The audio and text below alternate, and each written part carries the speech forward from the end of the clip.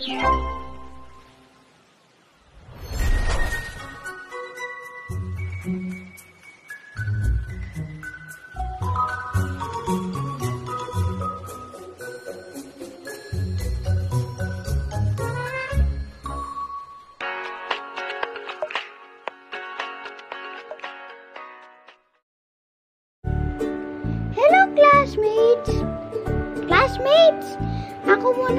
Makakasama nyo ngayon. Nagbakasyon kasi si ko, classmate. Classmate! Tayo na po kayo. Andito na po si teacher. Kakanta na po tayo. Ready nyo na po yung ballpen at papel nyo po. Welcome to Sunday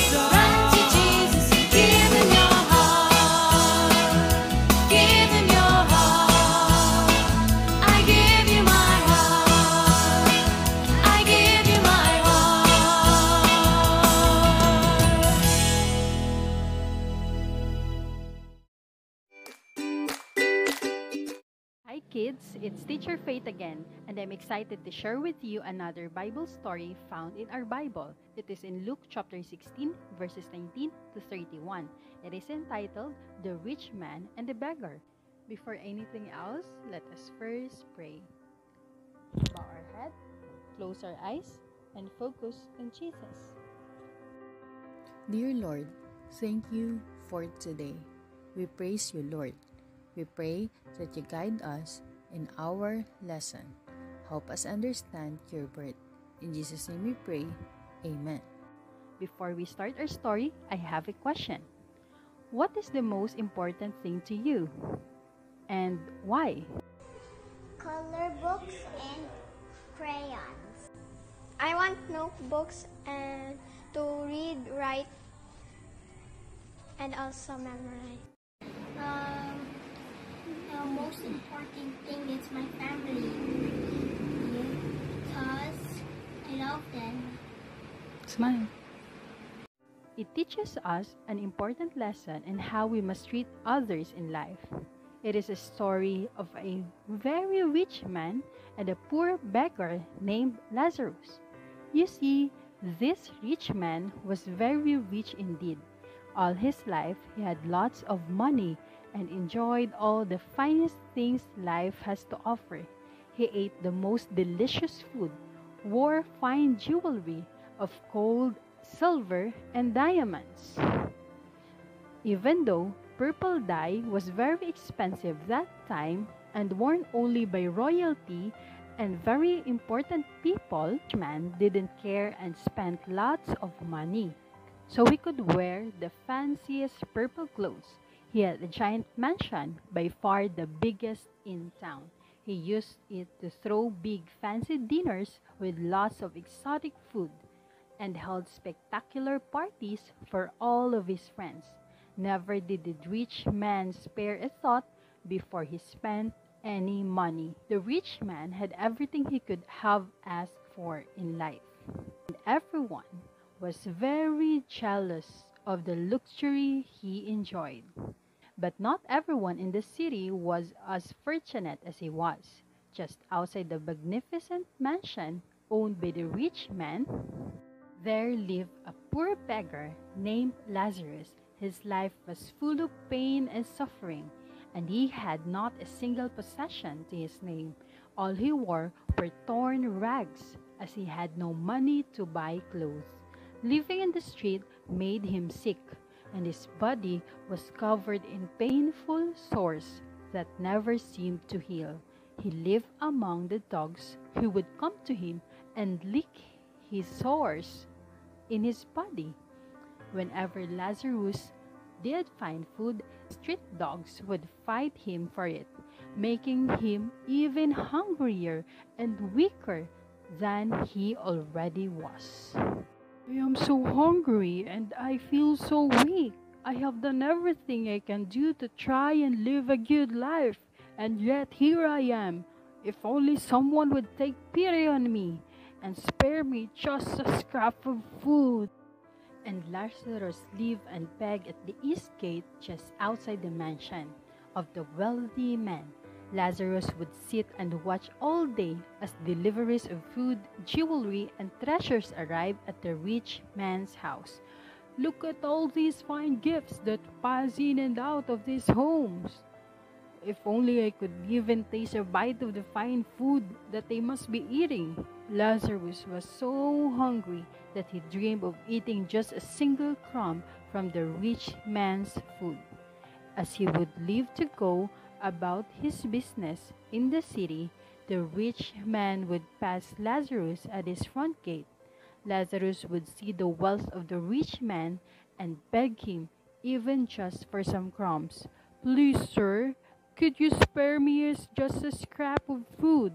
I'm very hungry. But the rich man did not care. Every day he ignored the pleas of the poor Lazarus and continued to enjoy his life of luxury without care in the world. Even though they pass me every day, not one of these people from these fine houses even look at me. My hunger and suffering means nothing to them. Even we are neighbors and we are both children of God. One night, his life of poverty reached its end. Lazarus died and his spirit left his body. On the very same night, the rich man also happened to die. Finally, Lazarus' many years of suffering had come to an end. His spirit arrived at the gates of heaven and was greeted by Abraham himself to live in eternal bliss. Where am I? Who are you? Welcome, my son, as you have arrived at the gates of heaven. Abraham, I'm one of your ancestors and first of God's chosen people. But as Lazarus was welcomed by Abraham at the gates of heaven, the rich man found himself in the pits of hell, surrounded by fire and suffering. The rich man watched as Lazarus entered the paradise and called out to his ancestor Abraham for help from the flames. Please, Father Abraham, have mercy on me. Allow Lazarus to dip his finger and come down here and cool my tongue. These flames are so hot. I am here in agony and wish to cool down. But Abraham could not help the rich man. My son, do you not remember when you had the finest things in life and poor Lazarus here had nothing at his name? He suffered each day while you lived in total luxury. He lived just outside your doorstep and you had plenty to spare. And did you ever stop to help the poor Lazarus through his suffering? No, you didn't. And so now you can never cross the great gulf between us. The gap between heaven and hell is too great, and you must live a good life to enjoy the kingdom of heaven. Once you reach the afterlife, the rich man realized how he had misused his life of luxury and began to fear for his family. Then please, Father Abraham, send Lazarus to the house of my father. If Lazarus speaks to them, maybe he can convince them to change their ways and live more virtuous lives so they will live forever in the kingdom of heaven. But again, Abraham could not grant the rich man's request. Alas, my son, your father and brothers already have the word of Moses and all the other prophets before them to offer them this very message. And yet, they did not listen. But if they see Lazarus rise from the dead to give them this message, then they will be sure to listen and change their ways. But Abraham explained to the rich man, My son, if they did not listen to Moses, if they do not listen to the prophets, then one man rising from the dead will surely not make them listen. And so Abraham left the rich man to face his fate and joined Lazarus again in the kingdom of heaven. And so that is the story of Lazarus and the rich man. In the afterlife, the rich man found himself with nothing but suffering, while Lazarus enjoys an eternity of comfort and satisfaction. Even though the rich man had every privilege in life, he shared no respect for God or care for his fellow man, Lazarus. Once we die, we can no longer rely on the material goods in life to bring us comfort and happiness. Only by living a good life and caring for our fellow man can we make sure that we live forever in peace and kingdom of heaven. It is through the work of Jesus Christ that we are saved. So let us put Jesus in our hearts and care for the people around us. Hi guys, today I'm gonna walk you through how I get ready to start my day. But you know what? I think sometimes it is good to mix things up a little bit. I don't like to do things always the same way, so I'm gonna try to do things in a different order and see if it will work. One thing that I do to get ready is to wear my shoes. I always seem to put them on with my socks first and then my shoe. Let's try it. So I put on first my shoe before I put on the socks. Let's see. You see, it's kind of difficult to put the shoe and then the socks, and it looks so weird. And oh, it didn't work. Thing that I do to get ready is I wash my hands. When I wash them, I usually put the soap first, then rinse them and dry them. That's boring. Maybe I can try to do it the other way around. I'll dry my hand first. And now, I'll rinse them. Then I'll put some soap.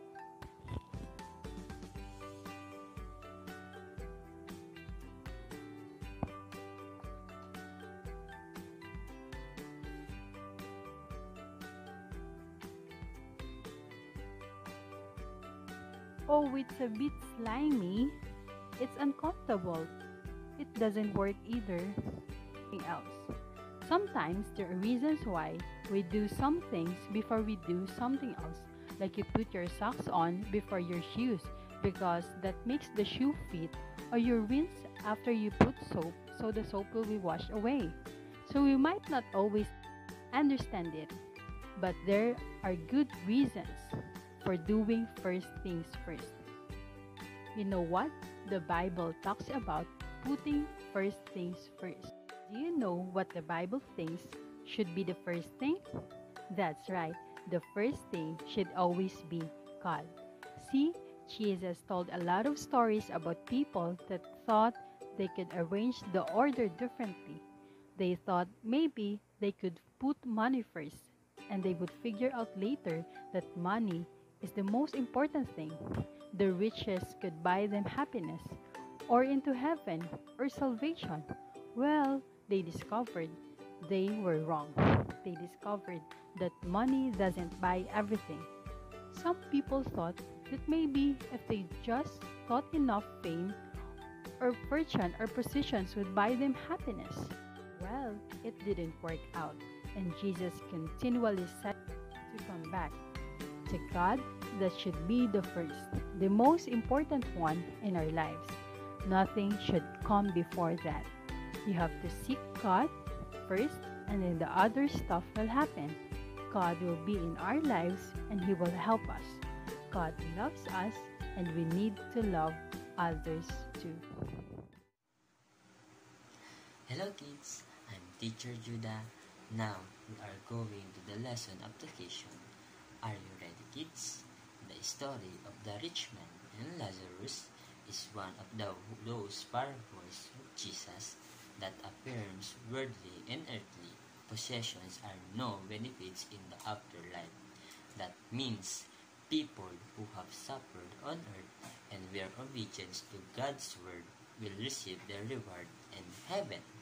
If you are wealthy, it does mean that you are favored and blessed by God. Material prosperity is not an evidence of spiritual abundance. You see, kids, the rich man in this story had no compassion, love, and sympathy for the poor and has no reference to his relationship with God. We should not ignore our relationship with God pursuing riches and wealth. On the other hand, Lazarus was a beggar and also sick. It does not mean that God is angry and displeased with him. Maybe we have had a strong relationship with God and his lack of physical possessions and health did not deter him from believing in God. God looks at a loving heart that has genuine faith in Him. How you live your life here to on earth will determine how you will spend your eternity. This parable encourages us to do some self examination in the Bible reminds us that we can merely listen to the word, but we have to do what it says. Hello kids! Now we are going to the memory verse. Memory verse for today is Colossians chapter 3 verse 2. Set your minds on things above, not on earthly things. Again, Colossians chapter 3 verse 2. Set your minds on things above, not on earthly things.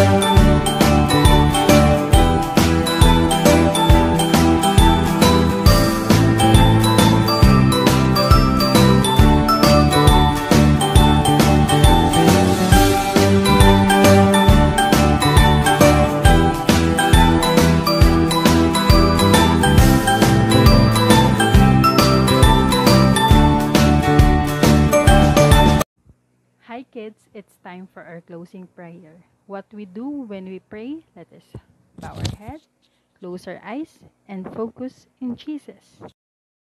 Dear Lord, thank you for today. Guide us and remind us, Lord, to put you first in our lives. Help us, Lord, to care and love others in the same way that you love us. Protect and bless us. In Jesus' name we pray. Amen. Classmates, di ko talaga makontak si Ku. Busy ata siya sa school kasi nga face-to-face na ngayon. Classmates, tapos na po ang Sunday school. Pwede na po kayo makauwi. Balik po kayo next Sunday.